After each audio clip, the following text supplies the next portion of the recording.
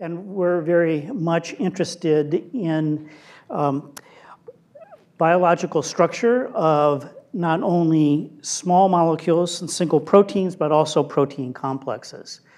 Um, my center operates as, um, is funded by the NIH, National Institute for General Medical Sciences, and we're a biomedical research technology center and have been for several decades. We're located at the UCSF Mission Bay campus, and the uh, activities of our center are primarily focused on developing interactive visualization tools and more recently web-based applications and then together with our collaborators applying these tools to uh, important and biomedically relevant projects. And because we are a center uh, and are funded by NIH to do more than just research, we're also involved in uh, service to the scientific community, um, and we have workshops uh, for, in fact, Scooter Morris was here on Tuesday, gave a workshop on Chimera. We've do workshops around it, around the country several times a year, and we disseminate all of the software that I'll be talking about today um, and publish our methods, that sort of thing. So um, some of the tools that we've developed I'll be, are, are shown here. I'll be talking more about Chimera, so I won't talk about that now. Uh, we've also developed a number of Cytoscape plugins. You'll hear a bit about biological visualization of biological context in general from Scooter Morris during the next session, and he may mention a bit about some of these specific plugins that we've developed for Cytoscape. I'll, I'll, just mention briefly that we're also involved in a collaborative activity with Patsy Babbitt at UCSF to develop a database that links sequence, structure, and function, especially for mechanistically diverse enzyme superfamilies, so that you can um, search in either sequence, structure, or function space. And by function, biological function, I'm talking about the chemical reactions that enzymes perform, and in particular, the partial chemical reactions. And in fact, it's this partial, a common partial chemical reaction that often uh, causes key residues in proteins to be conserved over a very long period of time because it's the, that chemistry is needed in, in, to perform biological function.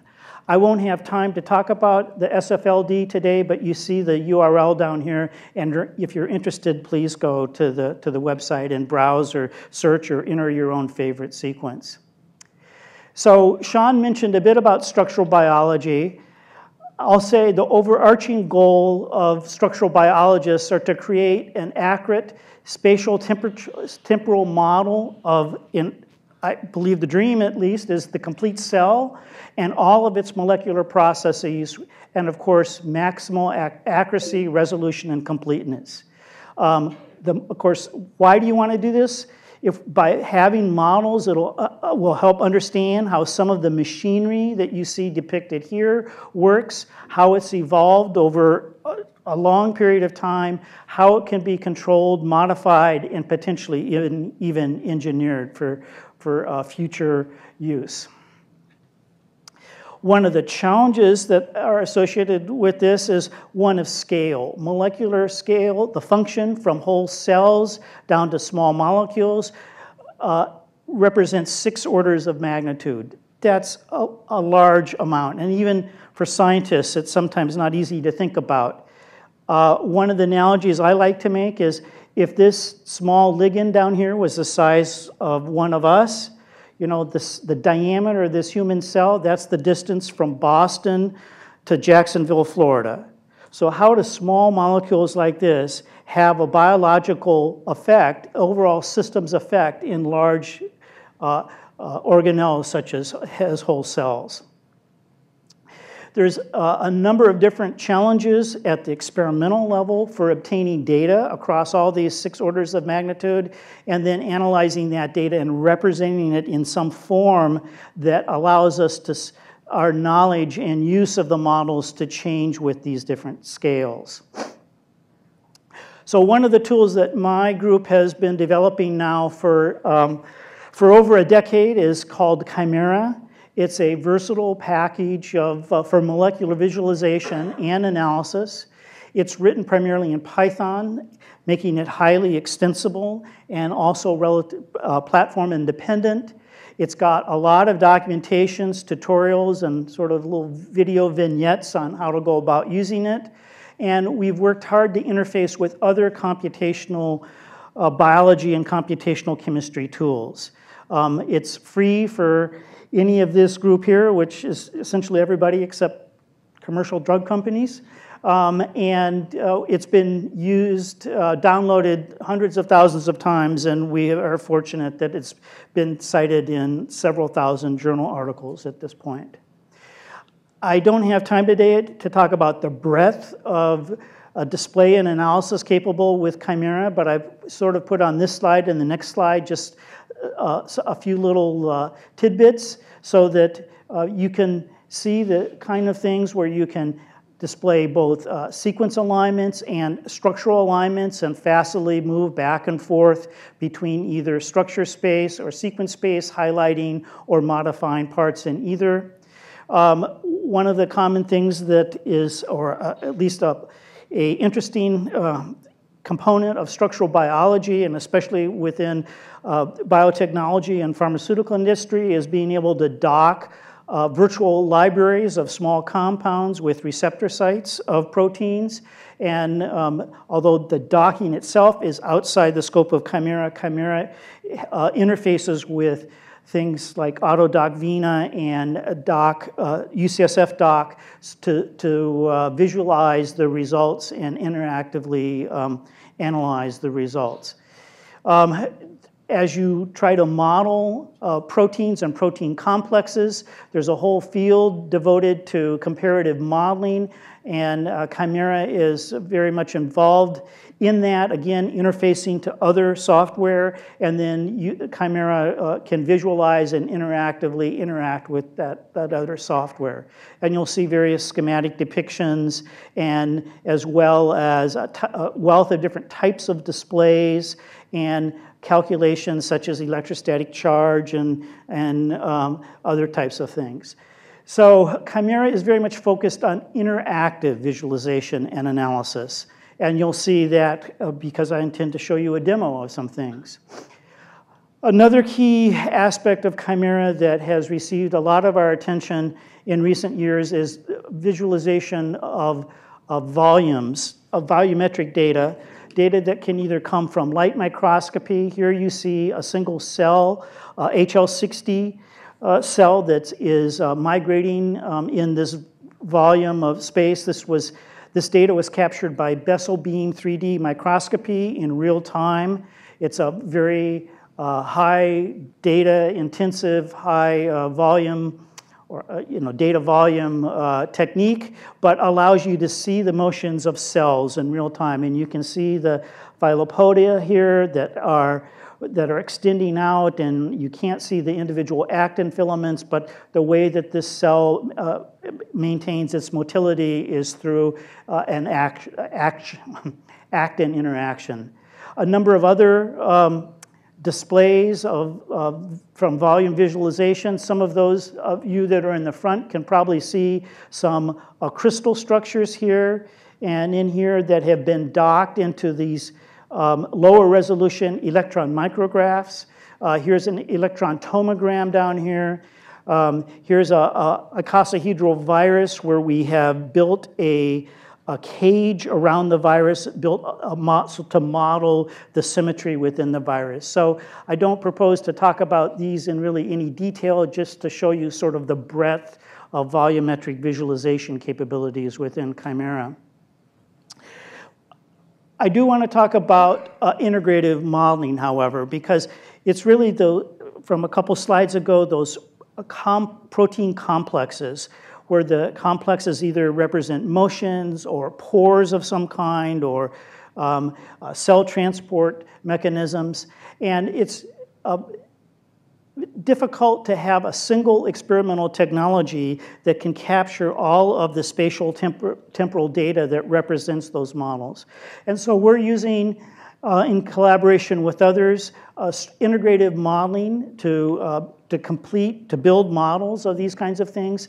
And in this case, the source of information really can come from any sorts of, from any sorts of measurements. You see a number of experimental techniques that are listed here from crystallography and NMR that Sean talked about to electron tomography, um, chemical cross-linking, um, resonance imaging, um, with through FRET any, and even and computational methods as well. So the goal with integrative modeling is to take any of the, all of these data sources and those restraints on the model system that they represent, whether it's low or high resolution, and combine them together into models that are consistent with the data.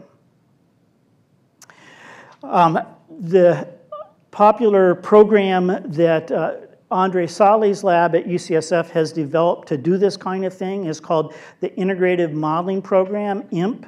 And you see it schematically represented here where we take various parts that have been either modeled, various parts of a complex that have been either modeled or determined experimentally together with the restraints that come with this data, and then combine these together into making models, in this case of the nuclear pore complex that was uh, published uh, a couple years ago now. Uh, so this is what's used to transport molecules into cell nucleus. Here's a, a, schematic representation where individual proteins are just represented as blobs. Here's a little bit higher resolution version where now we're representing parts of proteins as spheres. And here's a dynamic representation of this model of the cell showing transport through the, through the pore complex. So there are a variety of models that can be built um, using IMP and depending on the level of detail and uh, scale that you want, it may be uh, necessary to do things at a very low level or it, it may be possible to do things at a much higher level, and this green box represents the Chimera tools and web applications in this spectrum of integrative modeling.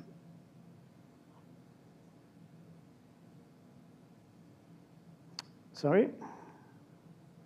So uh, as part of this, it's been necessary to develop a new uh, data representation and, and molecular format. We call it the rich molecular format, RMF.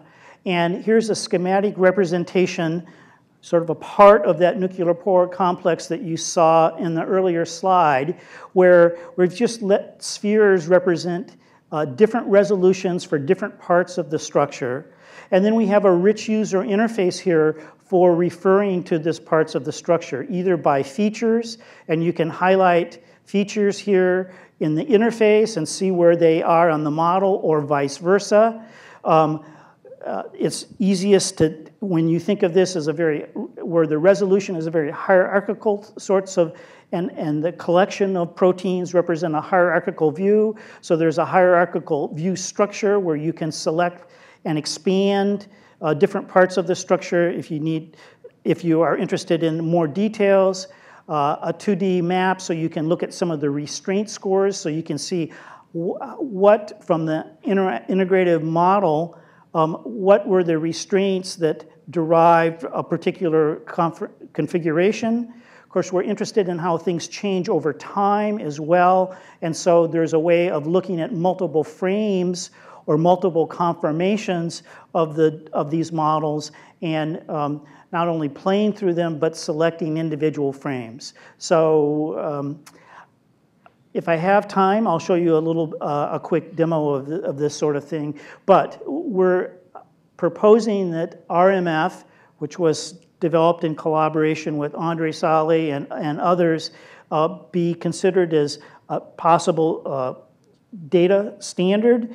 This, you know, it's beyond what an individual uh, crystal structure provides with the PDB, and it's a way of thinking, it's sort of the metadata, if you will, of which represents the relationships of all the different proteins in a protein complex, such as the nuclear pore.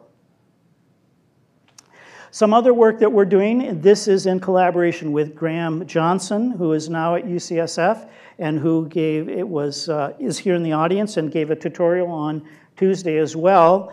Uh, we're looking at um, using Graham's AutoPack and CellPack to build models that uh, have, uh, that again, solve this integrative modeling problem with, um, of biological structure. So quickly, the way to think about this is you start with an empty volume. In this case, with AutoPack, we have some arbitrary components here, cylinders, spheres of different sizes. We know through experimental methods the approximate percent uh, uh, the ingredients, the target densities, if you will, of these different components. And the challenge here is to pack these components at these percentages into this volume such that there are no violations of the, of the edge. And so AutoPack does that. And the companion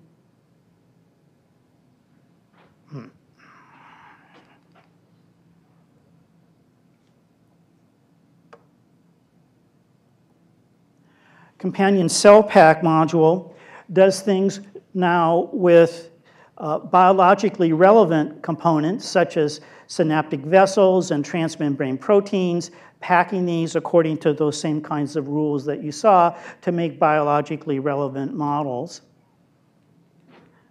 I somehow have lost the uh, auto, the remote forwarding here, but we can. So we combine these together uh, generate output files, and then do visualization and analysis on the results using uh, a number of tools, but in the, in the case that I'm going to be showing you, Chimera. Hmm. So here's an, an, animation that was generated of, with Chimera from the um, the output of AutoPack and CellPack. This is an HIV, a model of HIV caps virus um, showing the uh, HIV spikes on the surface. Uh, a couple broadly neutralizing antibodies. Here's the HIV capsid. Here's one of the capsid proteins. And here are a couple small drug molecules that are known to bind and inhibit the formation of this multimeric complex in HIV. So the way this uh, animation was created, we used the output from uh, AutoPack, uh, fed it into Chimera, took individual um, scenes of the resulting image, saved those scenes away, and then strung them all together into a timeline, and then created a movie from that timeline. And it's just and that's shown on this slide. So this is a relatively new feature of Chimera that we've recently added, um, where you can uh, interactively manipulate. In this case, we've, we've uh, clipped off part of the, um, of the overall uh, um, coat, vesicle coat here so that you can see inside the cell. We've saved various scenes. You, you manipulate things, you get the view you want, you hit the plus button, it saves that scene and the, and the 3D, the data associated with that 3D confirmation. And then you can drag these scenes down onto a timeline uh, and connect one time point with another time point with various commands such as rock back and forth or rotate or morph from one transition to a next. And that's the way that that video was created. Hmm. Um, I mentioned that we are in a very collaborative and, in, uh, and interactive environment at, my center. So we have a video projector, much like you see here, and a, a large wall display. And um, one of the key ways that we interact is through with groups of people. In this case, uh, this was a demonstration we were doing for a young group of, of individuals who are interested in science. They have their, their 3D glasses on. Um, you know, we are we're trying to manipulate 3D images, and you need rich ways of interacting with those images, much the way that Sean described, either through six devices like this 3Dconnexion which is six degrees of freedom, or tablet, or you know these magic track pads where you can use finger gestures, or some new things like this leap motion that can detect uh, hand gestures.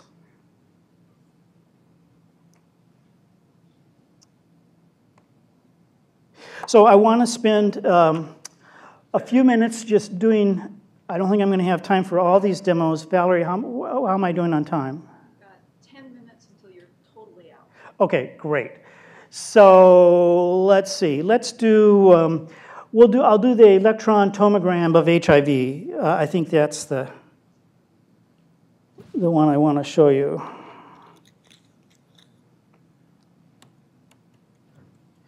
Well, well, well. Okay.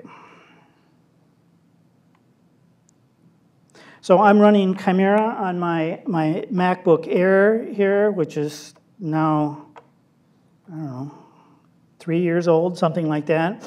Uh, Chimera takes advantage of the, the, graphics processing unit that are part of all um, laptops and desktops now. Um, so what you see here is, uh, is HIV um, virus. So there's a, um, a, a an oily uh, sphere that protects the, the underlying virus the virus structure here, this lipid envelope, we've just artificially cut that in half so you can see inside.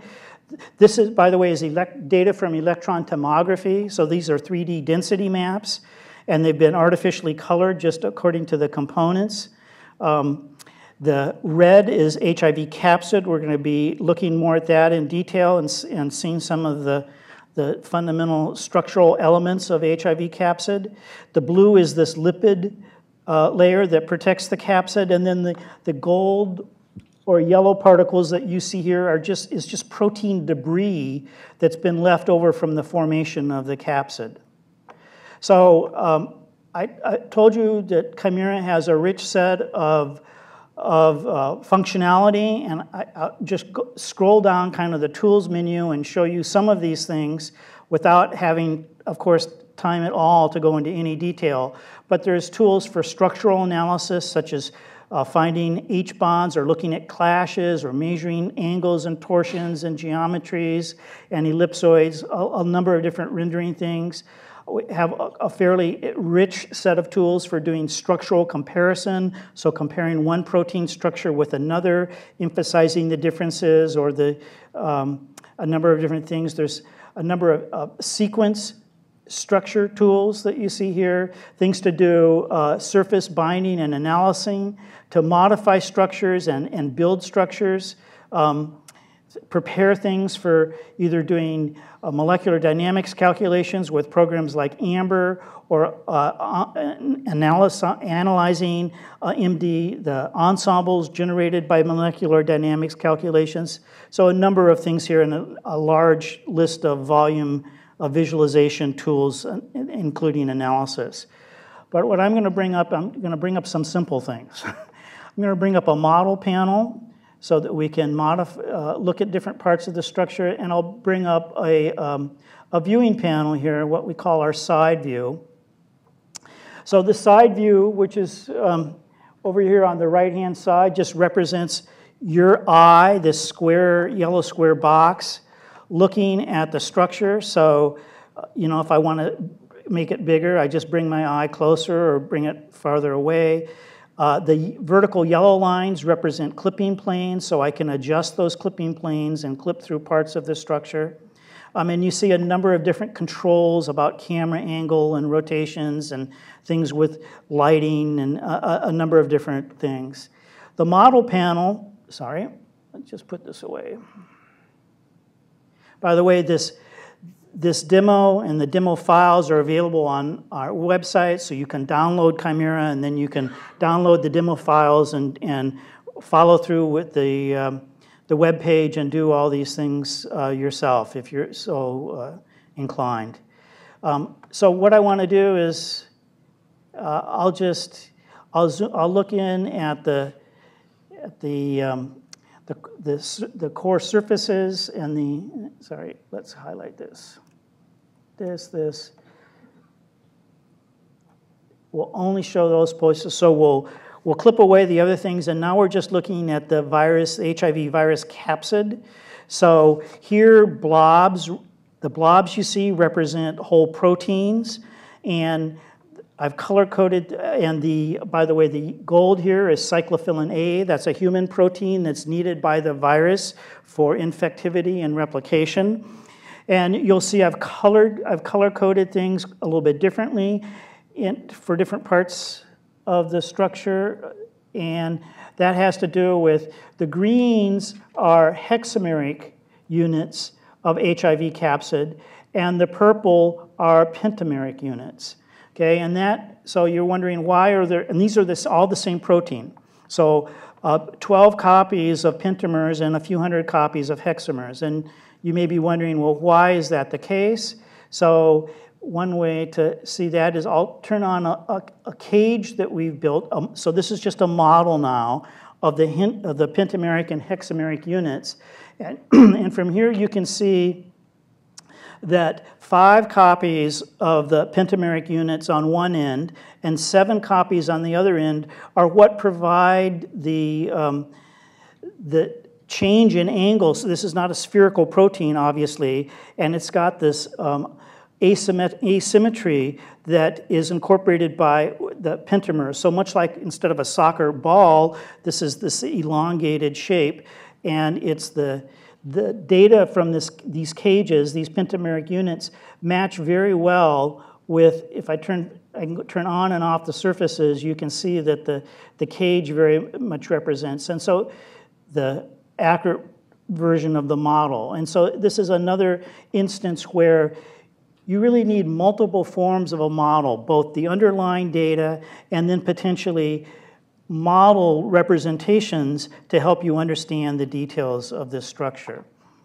Um, I'll turn back on the surfaces. So this mostly represents electron microscopy data, but in the very middle here, there's actually, we've docked a crystal structure of the capsid here. So if I now turn off the EM data and just focus in on the crystal data, you can see we've six copies of HIV capsid protein, uh, where each copy is colored a different color. And I've um, represented this as both a ribbon diagram uh, with the side chains shown. Some of you can see little, maybe little dots up here representing water molecules in the structure. We know there's a couple drugs, because this has been reported in the literature, that bind with HIV capsid and disrupt the formation of, the, of these multimeric units. Here's one of them from the University of Maryland and another one from Pfizer. And it's interesting to see that these bind at the interfaces between copies of the protein. Neither of these drugs are in clinical use today because although they disrupt the formation of the multimeric units in the laboratory, after about a week or two weeks' time, um, the virus mutates and the, the, the multimers are no longer inhibited. So that's one of the problems. I think I'll, I'll, I'll stop the demo here and just wrap up my presentation by um,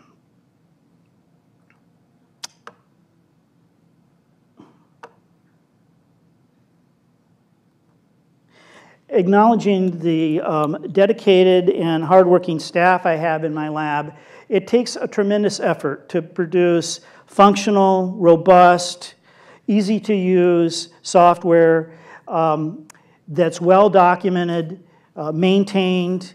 Um, it takes professional programmers to, to do the programming. It takes uh, since the software is going to be used by scientists, it takes scientists to do the doc, to write the documentation, to create the tutorials. It's a huge effort, and there's no way that this would be possible without a very dedicated staff and the generous, generous funding that I received from the NIH. So I think I'll stop at this point and, and thank you for your attention and take any questions.